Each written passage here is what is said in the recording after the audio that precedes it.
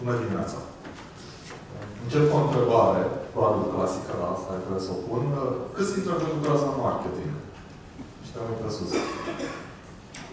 Ok. Uh, câți dintre voi, venind la conferința asta, ați reținut cum se cheamă prezentarea mea?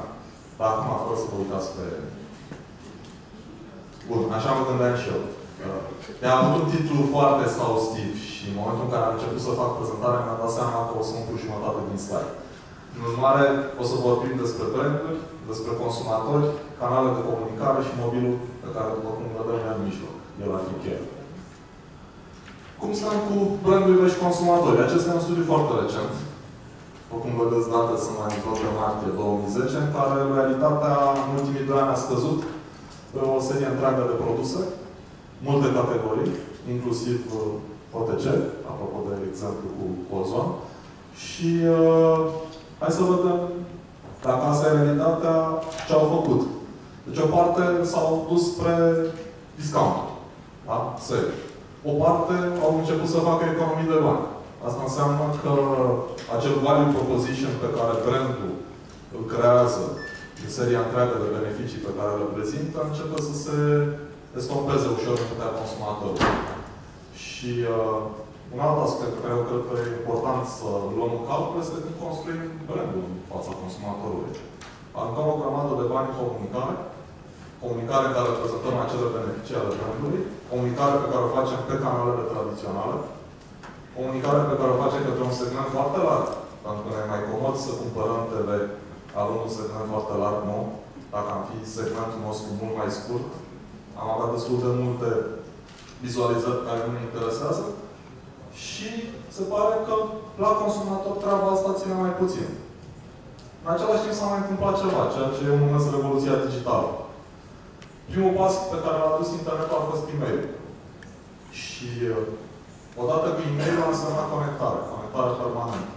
Dacă vă întoarceți în timp acum 20 de ani, sau și mai bine, vă dați seama că relația dintre oameni era mai mult face-to-face, -face, mai puțin la distanță și niciun caz nu, nu reacționau atât de repede la evenimente și ceea ce se întâmpla. E-mailul a simplificat lucrurile, da? It's amazing. Trimitem mai departe. Numai săptămâna asta am primit, de exemplu, două mail legate de o bancă care a trimis o notificare unei persoane decedate. Deci consumatorii încep să reacționeze vis-a-vis -vis de brand și reacționează foarte rapid înainte ca brandul să poată face ceva. În același timp am mai dus la rețelele sociale. E o nebunie cu Facebook-ul. Twitter-ul încă nu, că e foarte cel puțin la nivel de România, dar va avea și el. Dacă ne uităm pe Facebook, în afară de a share diverse chestii, o să vedem multe posturi cu nemulțumiri. Nemulțumiri vis-a-vis de experiențele pe care le au oamenii cu brandurile. Pe Twitter e același lucru. Și revoluția digitală a însemnat telefonie mobilă. Care telefonie mobilă a însemnat comunicare instant. M-a garantat ceva, pun mâna pe telefon, sunt cel mai bun prieten, zic, uite bă ce mi-au făcut ăștia. Și așa mai departe. Da? Deci consumatorii pot reacționa imediat față de brand. Ce fac brandurile? Brandurile în continuare aruncă bani pe comunicare. Pe canalele clasice. Să convingă consumatorii ca un produs bun, solid, care le aduce o grămadă întreagă de beneficii. Dar revoluția digitală a mai semnat altceva. A semnat un shift de consum. Deja, pe anumite segmente, inclusiv în România, sunt persoane care stau mult mai mult pe digital și comunică prin mesaje text decât să se uită la televizor. Și atunci ne putem pune o întrebare. După cum vedeți, e destul de dezbătută în Google dacă sunt aproape 200 de milioane de rezultate. Dacă este publicitatea mai puțin eficientă. Cred că e foarte greu să dăm răspunsul și în niciun caz nu ne-am propus asta astăzi, dar e un semn de întrebare. Și mai ne putem propune încă o a doua întrebare. Comunicarea este unidirecțională? Inclusiv pe internet? Din păcate, da. Sau, în marea majoritate a cazurilor, asta se întâmplă. Ca să nu adaug faptul că tot ce înseamnă canal media tradițional nu permite o reacție imediată a consumatorului. Și ajungem la mobil. A apuntat și mai mai devreme, telefonul mobil este singurul mijloc de comunicare imediată în orice loc și ce e foarte important în variate moduri. Că să nu uităm că dincolo de un apel sau un SMS avem o cameră foto, putem face o poză, da, vedem un produs expirat, l-am posat și l-am dat mai departe. Un exemplu foarte simplu. Deci, asta este deja un aspect pe care nu-l acoperă niciun canal media tradițional. Faptul că este un instrument multimedia și ne permite foarte multe moduri de a comunica cu el. Și dacă vrem să luăm în calcul ce facem cu telefonul mobil, trebuie să ne gândim la elementele lui caracteristice. Care sunt foarte importante și pe care multă lume le, le omite. În special partea personală. Asta este, ne place, nu ne place personal.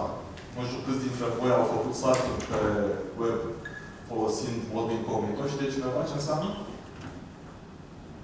Nu știți? Oh, ah, ok. Uh, deci e o soluție pe care browserele ți-o pun la dispoziție ca tu să nu-ți mai pui problema că ei stochează toate informațiile pe care le introduci în momentul când navighezi.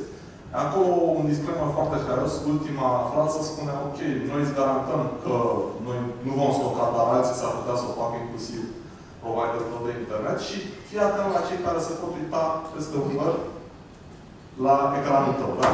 Chestia asta nu se întâmplă la mobil. Deci mobilul nu-l împărțim cu alții. Nu are cine să se uite pe ecranul acela destul de mic, care de multe ori văd cu dezavantaj. Faptul că e întotdeauna la îndemână, iarăși, s-a discutat și cred că e clar sunt programate de studii care arată asta, mi-au deschis și un echipament multimedia. Deci, astea sunt caracteristicile pe care ar trebui să le luăm în considerare când ne gândim la comunicare. Eu văd două principii. Primul este că telefonul mobil trebuie să fie un canal mereu deschis pentru consumator. Ok, se poate face și la modul cel mai simplist, gen call center. Da?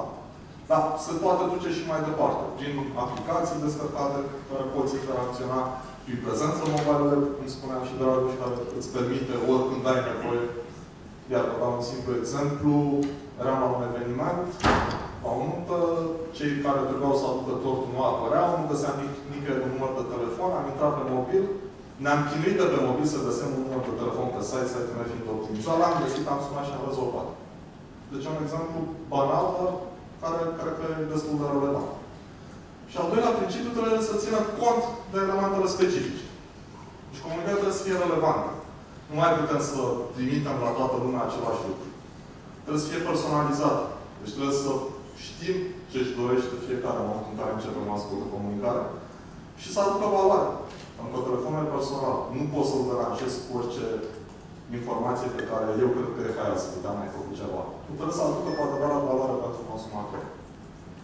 Dacă respectăm principiile astea, o să fie ok. Nu o să intru în detaliu, o să aveți studii de caz și prezentări. O să menționez doar ce poate să semne interacțiunea. TV prin outdoor și mobil. Suport.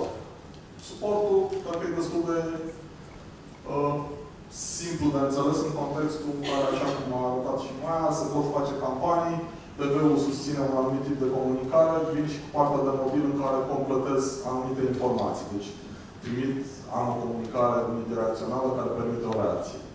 Dar pot permite și o reacție imediată, da? Un număr de apel, un număr de SMS. Prin alte țări, Franța, state, s-au introdus aceste coduri de bară care se afișează în timpul emisiunii pentru ca tu doar să le scanezi cu telefonul mobil și să te duci direct să afli mai multe. Cazul e pentru meteo și e cel mai cunoscut. Iar partea de mobile web și aplicații pentru mobil îți permit o prelungire a relației cu consumatorul. Deci trimiterea către un mobile web te asigură că odată ce el are nevoie se poate întoarce acolo și găsește ceea ce îi trebuie sau poate reacționa. Internetul și mobilul. E foarte important să ne gândim că internetul fix, așa cum știm, site-urile actuale, e total diferit de ceea ce înseamnă internet mobil, da? Și nu mă gândesc neapărat la flash. Uh, pentru că asta este lucrul cel mai adesea invocat. Nu, e, sunt multe aspecte. Ecranul mic, nu o să scrollez